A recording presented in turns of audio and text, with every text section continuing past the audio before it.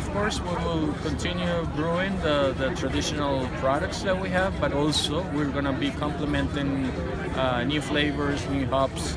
Uh, that are, you know, the, the, consumer now is very fragmented. So um, we are looking for, for, you know, how we can continue innovating uh, through the pipeline that we have been developed.